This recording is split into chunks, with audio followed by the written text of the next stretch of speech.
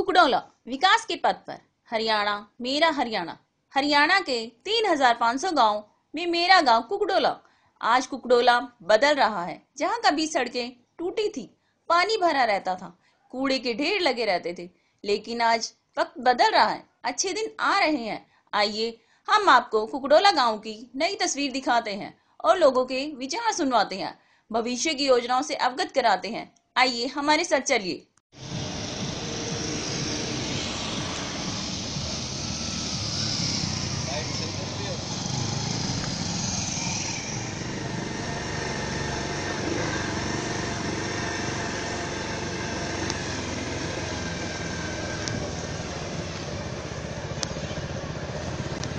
अच्छा बताएँगे कि जो अभी पिछले साल के दौरान सरपंच अजय कुमार जी ने जो काम किया क्या आप उससे संतुष्ट हैं? बिल्कुल।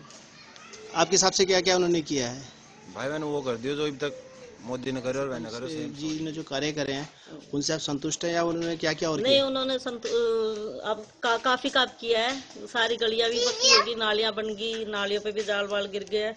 और वैसे जैसे पहले रास्ते भी नहीं थे आने जाने के बिल्कुल ही। रोड से यहाँ तक आते बहुत परेशानी होती थी सबको। और अब तो बिल्कुल साफ़ सुथरा काम है। और वैसे जैसे सोचा वो और, और भी जैसे शौचालय वौचालय की वो थी अभी जैसे बाहर ले जाएगा तो उन पर बड़ी रोकथाम करी है। सारे का उनसे काम कर रहे हैं। अच्छा काम कर रहे हैं। आप उनके काम से संतुष्ट हैं? हाँ संतुष्ट है। और आप आप आने वाले टाइम के अंदर क्या बदलाव चाहते हैं अपने गाँव के अंदर? आने वाले टाइम में यही है कि जैसे एकदम स्वच्छ बिल्कुल साफ़ सुथरा गाँव हो जैसे बिजली पानी की व्यवस्था अब काफ़ी तो वैसे हो गया पा, पानी की व्यवस्था भी अच्छी है पानी आ रहा है हर वक्त। और आगे आने वाले टाइम में और जो थोड़ी बहुत वो है वो पूरी करेंगे वो। अ, मतलब कि आप ही ये आप ये चाहते हैं कि जो हरियाणा के साढ़े छह हज़ार गाँव है उसके अंदर हमारा गाँव सबसे आदर्श गाँव बने। क्या क्या करा उन्होंने आपके हिसाब से? सबकी में कर दिया सारा गलियारा पक्का कर दिया। और ये पैप दाब लिया है बोर कर दी अच्छा वो पाइप ही हमारा कहीं खाया ना ये भी तो ईद का आवेगा ईद कब सी का आवेगा बेर में आ जाएँगे अभी। हमारे घर का सहारा के लिए नाली ने साफ़ आ जाएँगे अभी पर सब काम बढ़िया कर रहा है कि हम छुट्टी क्यों कहा बढ़िया है सब। इतके नू छिड़ाओ छिड़े तो लिकड़े भी ना जाए तो ये सारा साफ़ बढ़िया कर दियो सब चीज़ तो पार में खड़ो ना हो सके तो मानस अब उन्होंने काफ़ी अच्छा काम कर दिया है। खूब बढ़िया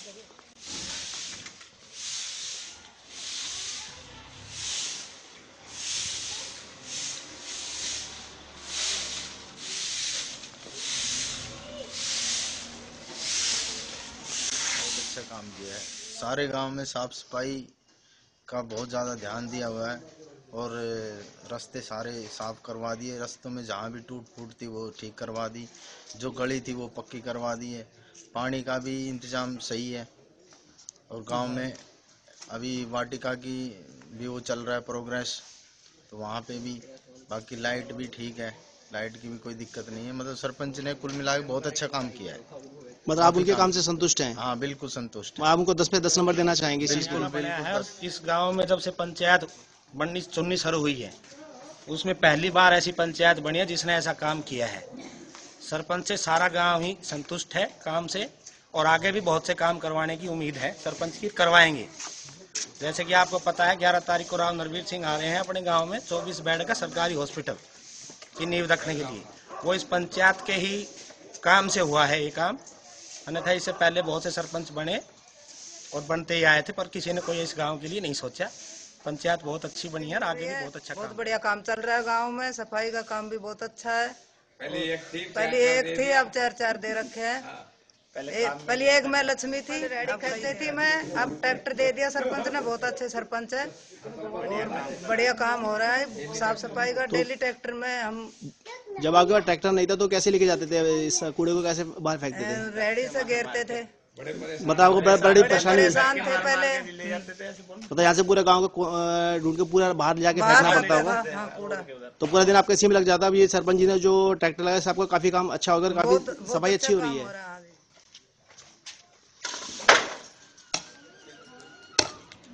हाँ लाइन है और ये पब्लिक हेल्थ की लाइन है इसको रिपेयर कर रहे हैं। तो ये सरपंच जी- जी ने इसकी हाँ, क- सरपंच साहब ने कंप्लेंट दी थी ऑफ़िस में इसको अब रिपेयर करने के लिए आए हैं। तो ये सरपंच जी रेगुलर कंप्लेंट करते रहते हैं ऐसी हाँ, चीज़ें जो परेशानी होती है। इधर। नहीं नहीं सरपंच साहब रेगुलर कंप्लेंट करते हैं तो जब भी आते हैं ऑफ़िस और साथ साथ निरीक्षण करते रहते हैं ऐसी चीज़ों का जहाँ भी कोई गाँव में लीकेज वगैरह तो सब भी कोई लीकेज वुकेज होती है तो कंप्लेंट करते हैं मतलब पिछले एक साल के दौरान काफ़ी आपने हाँ, काफ़ी काम कराया उन्होंने। बहुत काम पिछली पंचायत में बड़ी परेशानी थी। इस पंचायत ने बहुत अच्छे कार्य किए हैं। सारे गाँव के जो रास्ते हैं, उनको बिल्कुल अच्छी तरीके से हाईवे से जोड़ दिया है। गाँव में गंदगी नाम की कोई जगह नहीं है। बड़ा ही अच्छा काम ये हमारी जो पंचायत है इसने किया है, सारे गाँव में लाइटों का प्रबंध कर दिया। हरियाली, सारे गाँव में हरियाली फैला दी है।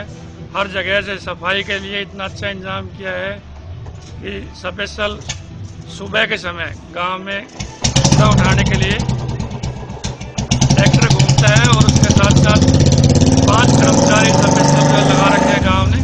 पंचायत ने वास्तव में इतना अच्छा काम किया है, एक महीने के अंदर ही कि हमें वास्तव में अपनी पंचायत पर नाज है फक्र है।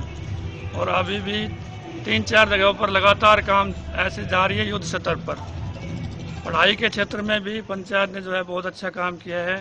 अपने प्राइमरी स्कूल को बार बार जो है देखभाल की है। इधर हेल्थ के, का- क्षेत्र में भी बड़ा अच्छा सहयोग किया है। वहाँ पर जो अपने हेल्थ सेंटर है प्राइमरी हेल्थ सेंटर उसको हर तरह की सुविधा मुहैया करा रखी है।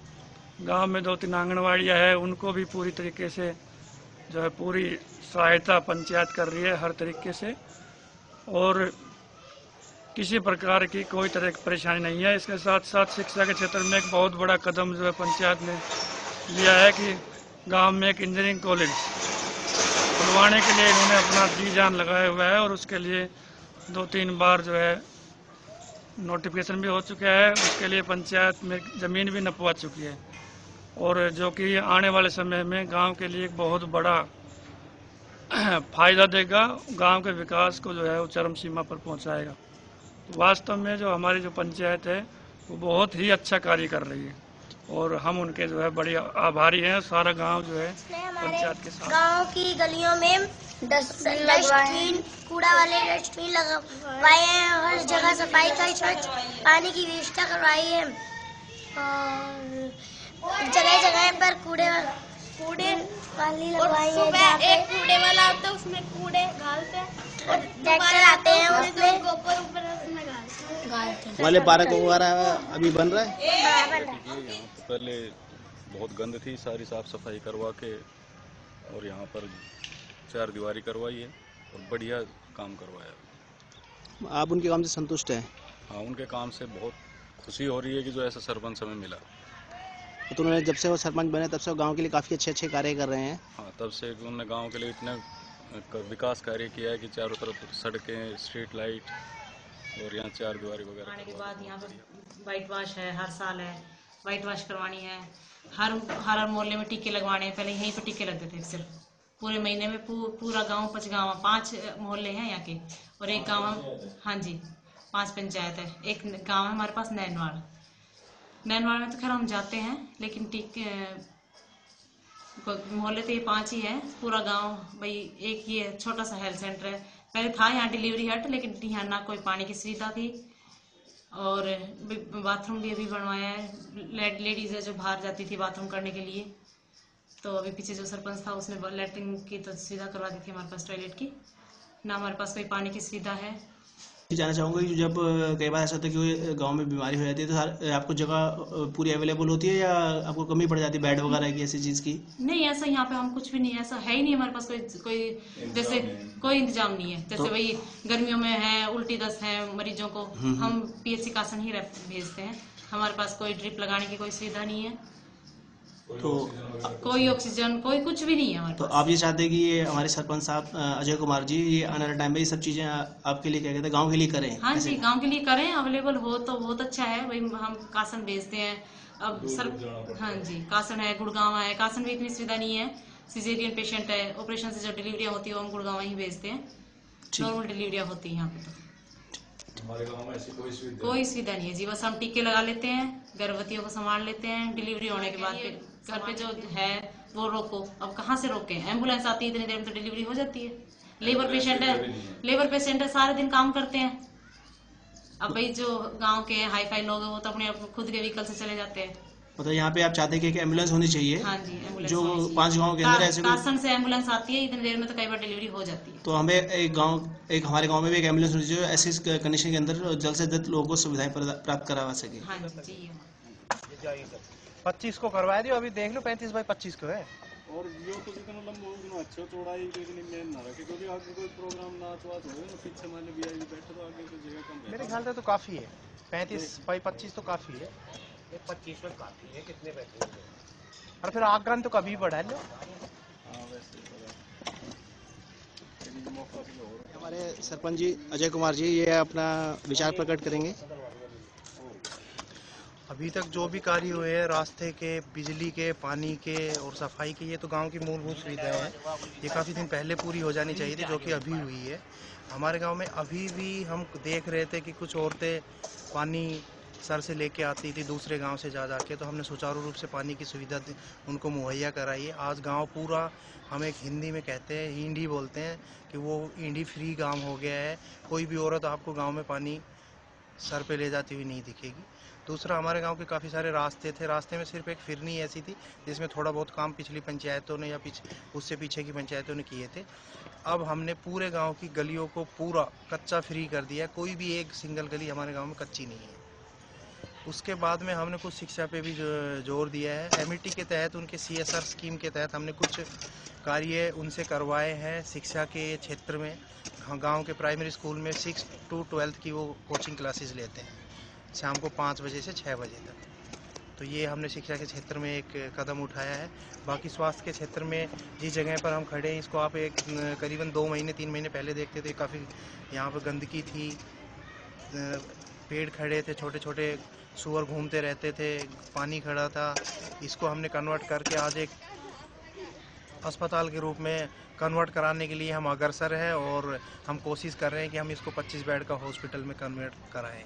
हम ज़मीन मुहैया कराएँगे गवर्नमेंट को और बिल्डिंग में भी गवर्नमेंट की सहायता करेंगे पंचायत की तरफ़ से।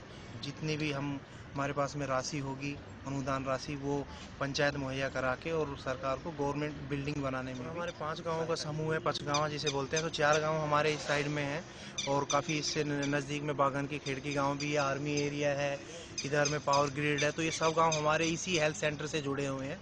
पाँचों गाँव में तो इसमें किसी अच्छी तरह की सुविधाएँ है नहीं।